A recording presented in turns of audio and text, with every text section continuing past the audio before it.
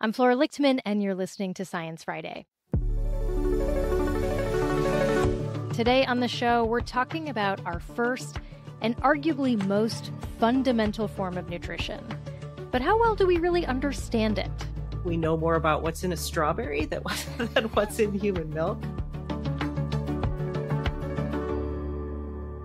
If you found yourself scrolling through the online breastfeeding world, you know that people have a lot of strong opinions about breast milk. It's a magic elixir. Breast is best. Look at how big my baby got after three months of exclusive breastfeeding, is a video I get served a lot more than I'd like. But what exactly do we know about the biology of breast milk? Does breast milk really adapt to a baby's needs? Does it confer immunity? How does making breast milk impact the breastfeeder? Here to spin through the science of this very sophisticated substance are two experts in the field. Dr. Shelley McGuire, professor at the University of Idaho and director of the Margaret Ritchie School of Family and Consumer Sciences, based in Moscow, Idaho. And Dr. Deepshika Ramanan, assistant professor at the Salk Institute for Biological Studies, based in San Diego, California. Welcome to you both to Science Friday. Thank you for having me. I echo that. It's great to be here. Shelley, let's start with you. You have researched breast milk for decades. You know, to me, it seems like a pretty important substance for human existence. How much attention has it gotten from science? Oh, golly. What a question. Thanks for asking that. Um, yeah, I, this is the most important food that Mother Nature has ever created. And uh, it seems like we should know everything about it, but we don't. We know more about what's in a strawberry than, than what's in human milk. Um, and th- that's not because there aren't people interested in it, and that's not because there aren't great scientists. Um, but the funding for this topic really has been not where it should be. And um, I could go on about that for hours. well, why is it? Why is it special? Well, if you think about it, which most people don't, but if you think about it, human milk or breast milk is the only food that's been evolutionarily designed to feed humans. Everything else that we eat has been co-opted by humans for human consumption. But this is a food that is so special because it's the only food of its type. And we really need to understand what is in human milk because that is what is really evolutionarily designed to start humans off. And it's probably the most important food that we have. You've made this point that, you know, we have doctors for other body parts but not for this. Will you talk about that? yeah, yeah. Again, something that most of us don't think about, but you know, there are neurosurgeons, there are foot doctors, there are heart doctors, but there's no such thing as a specialty for the mammary gland or breast. And to me, that seems a little odd. I think that is based in the fact that it is, of course, a women's issue. And there's so much other stuff that's around breasts and breastfeeding that I think it just hasn't been a topic that we've been all that interested in tackling, unfortunately. And I think it's time we do that. Shika, anything to add? Yeah. And I would say I've been studying breast milk immunity for the last few years. And what got me interested in that is my own experience of becoming a mother. And I think part of the reason why we don't have a lot more research on this is because we don't have enough women doing the work and we don't have enough mothers doing the work. And I think, you know, that brings the point of having more women in science and, and more mothers in science to ask these questions that people didn't think of asking before. Let's talk about immunity in the role of breast milk. You researched this, Shika. What do we know about how that works? How breast milk can transfer immunity to babies? Yeah, so it's been known for a few decades that breast milk has antibodies that are protective for the babies and mothers pass these antibodies in the breast milk and what it means is if mother receives a vaccine or an infection to a certain bug or a pathogen then they develop antibodies against that pathogen and then they provide those antibodies through breast milk to their babies because babies actually don't start making antibodies un- until they're a little bit older. So until the babies are able to make their own antibodies, mothers will provide this um, passive immunity. But what's actually um, striking is that antibodies are not the only protective thing in breast milk. There is just so much more going on. And breast milk is bioactive. There are so many live immune cells in breast milk. There are so many other uh, factors in breast milk, including the oligosaccharides, which each mother custom makes for their baby, which is just amazing. What do you mean by that? Wait, tell me more yeah, every woman is custom making the breast milk that their baby needs in terms of how much fat is in the milk, in terms of how much protein is in the milk.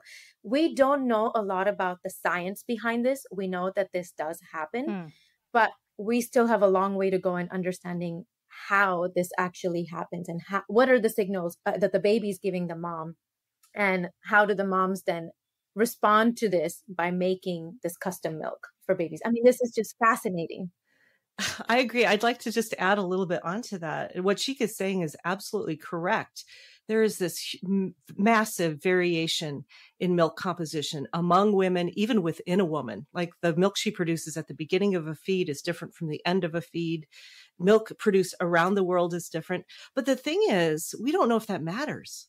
So it's it's a very interesting thing to say that milk mm. is customized to the baby, hmm. but we don't know if that matters. Um, I consider things like that like really interesting fairy tales right now that need a lot of research to understand. Yeah, I, I absolutely agree. Um, you know, we've been studying immune cells in milk, and we just had a story come out yesterday about how we found these immune cells that are migrating from the intestine of the mom to the mammary gland during pregnancy and breastfeeding. But we don't know what these immune cells mean for the baby. We've seen in, in human milk that there's a lot of these um, immune cells. So, not just antibodies, but actually live, like T cells? Yes, these are live immune cells. And what we specifically found is T cells. Yes, correct. And I'll add on to that. Uh, in, in addition to immune cells that migrate, bacteria migrate. We used to think that human milk was sterile. Guess what? It's not. Nothing is sterile. And we think that those, some of those bacteria are actually coming to the breast from the mother's intestine. Why would they be coming from the intestine? So the whole, our whole systems are set up to sort of process the environment through our gastrointestinal tracts. And so our gastrointestinal tracts have so many microbes in there and it's it's a reflection of what we're coming into contact with in our environment. So if you think about it, the mom comes in contact with these microbes. Maybe she wants to teach the baby that these microbes should be tolerated and are okay. So they're transported to the breast, they're put into the milk. The mom says, okay, these are okay bacteria. Don't respond to them with some sort of a bad immune response. So again, I'm t- I'm weaving a fairy tale here hmm. about what we think, but we don't know, to be honest. Yeah, we don't know how this might be helpful for babies and what what it is doing to the immune system for, in the babies. But the other thing I think we don't think enough about is what does that do for the mothers? Because you now have this huge influx of immune cells that are coming from in the intestine or even other parts of the body to the mammary gland now, to the breast tissue. And you potentially also have microbes, right? And there has been a lot of work showing how breastfeeding has been helpful for mothers. So it speeds postpartum recovery. And also some correlative evidence saying that for every year a woman breastfeeds, they are less likely to develop breast, uterine, and uh, ovarian cancers later on in life as well as other chronic diseases such as heart disease and type 2 diabetes. But we still don't know a lot about how is this process protective and it obviously doesn't protect everybody. So how does it protect some women but not others? And there's a lot left to do in in this area as well. If this turns out to be more than a correlation, that actually it is protective for parents to breastfeed, could this be an evolutionary adaptation? Like you know now now that you have a baby you got to be kept alive to take care of it. Yeah i i think you're right on with that. Of course this is evolutionary. I mean this is how, this is the only way that babies were fed for a very very long time. Um, and so we have evolved right to to do things well. Mother nature is a the smart thing. and uh, it, th- this process does have to be protective to the baby and to the mom in the long run. Otherwise, it's way too much energy to invest in a biological process.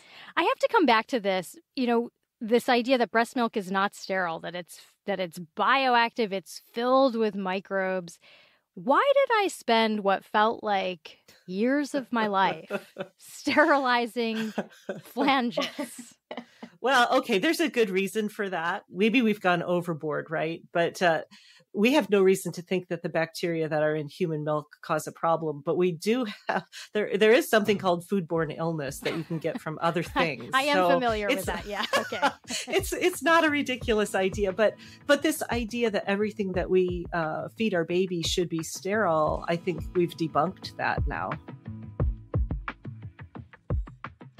The break, some new avenues of research, including what we know about the risks of cannabis use in breastfeeding parents.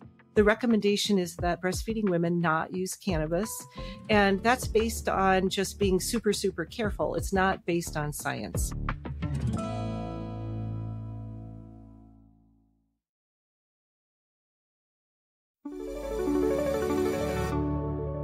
Shelley, how much variety is there in breast milk across the world? Is it like Budweiser, like it's it's pretty consistent no matter where you're drinking it? It is not like Budweiser in a lot of ways. It's very different. We did a study a few years ago. We collected milk in nine different countries around the world, and so many things are different. And the question is, does it matter? I would like to think that it does. I would like to think that that milk produced by those moms, let's say in rural Ethiopia, is setting those babies up for success in rural Ethiopia. And that milk in Spain is setting babies up for success in Spain. But again, that's one of these fairy tales that we would like to be able to support with science. You know, I think a lot of people who are breastfeeding also end up thinking a lot about what they're consuming and they're really cautious about what they put in their bodies because they don't want it passed along and it seems like there's a lot of uncertainty around this shelley i know that you're studying maternal cannabis use what mm. have you learned and, and why are you focusing on that oh gosh what a hot topic. So you know uh, recreational cannabis has just recently been uh, legalized in a lot of states and like so many things, we don't really know the impact on milk composition or infant outcomes. And so when cannabis became legalized in the state of Washington a few years ago, uh, my colleague Courtney Meehan, who's at the at Washington State University, we put our heads together and we said we need to understand this because right now the recommendation is that breastfeeding women not use cannabis.